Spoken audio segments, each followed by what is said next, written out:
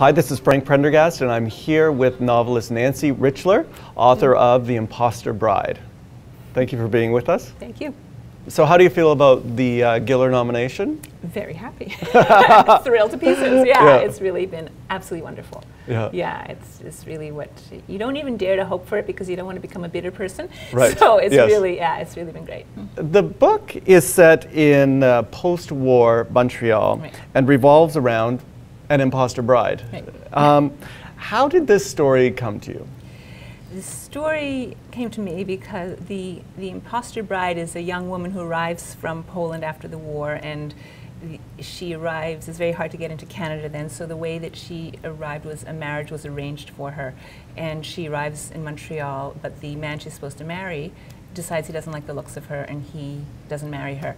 And that actually happened to my um, my paternal grandmother, but it wasn't right after the war. It was in 1903. But I've always been interested in that story, like what it would be like to arrive and have nothing and no one, and then someone doesn't like the looks of you, the, the person on whom you depend to build your life.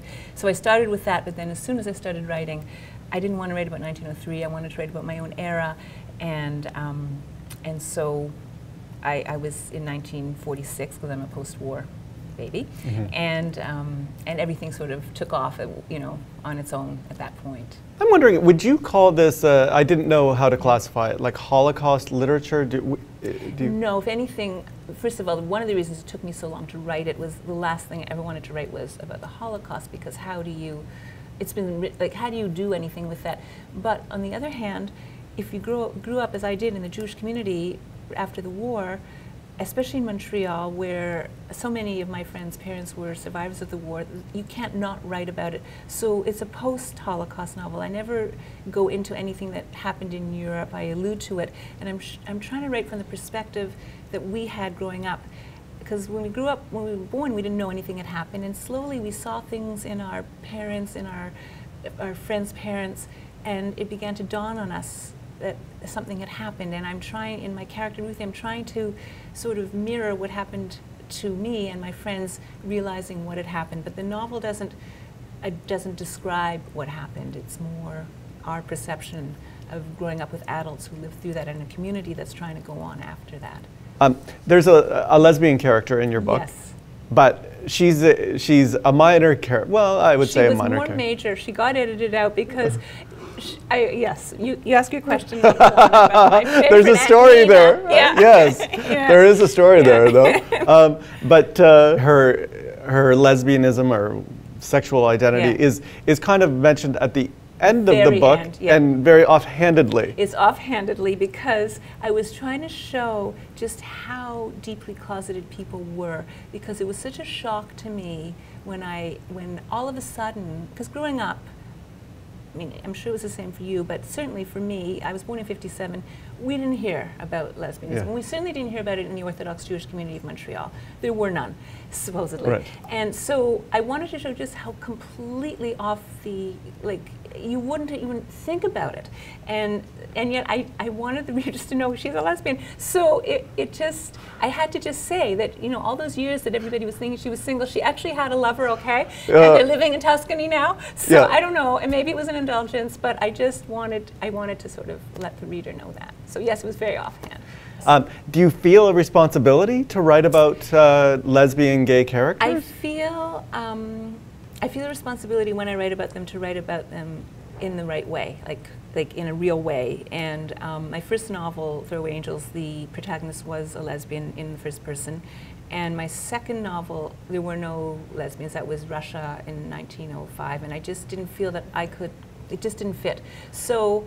I, I feel a responsibility to be true to life. And Nina, I didn't start out and go, oh, I'm going to have a lesbian character she evolved and I thought, you know what, she's feeling kind of like lesbian to me. So yeah, so tha- that's my responsibility is not, you know, not to have the token lesbians, but to ha- or gay people, men, whatever, but to have it be sort of to have it be as it really is, that there are lesbians, even if you don't know they're there, they're living among us, and and this is what it was like. You know, there weren't actually any hints. Nobody was picking up on it Right. at that time. You know. Your name had come up, and we were doing stuff on IFOA, and I wasn't Yeah. too clear about your sexual identity. Not that it's any of my business, but Yeah, because okay. we cover this, Yeah. uh, like, how did that happen? Is it just that people don't care anymore, or do, do I not Um, research properly, or like? I think if you don't write books with gay or lesbian protagonists, nobody picks up on it.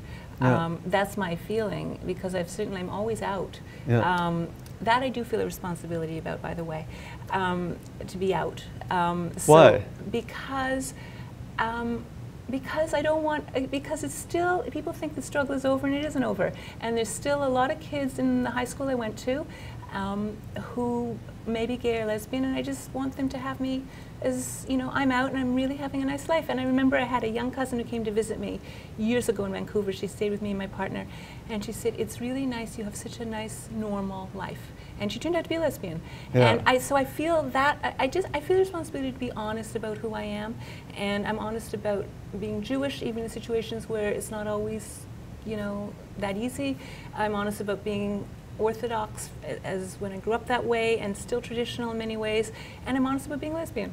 I do, that's where I feel responsibility, and, and to be honest in my writing. But so I don't know why the media. I picked, they picked up on it a lot with Throwaway Angels. Right. in- to ignore me. So, Right.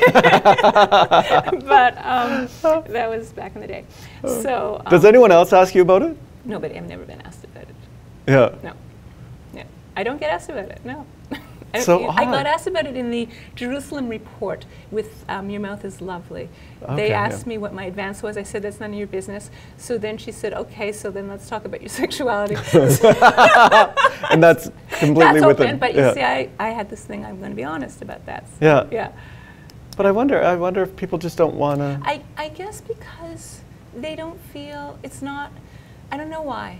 You know, I, you know, they're very. oh, You know, nobody like hides it, but I certainly don't get asked about it. And it's interesting because it does inform my writing, you know, and and also I think the struggle. I, you know, I was a married straight person in my 20s. I think the kind of struggle you have to come out and be who you are.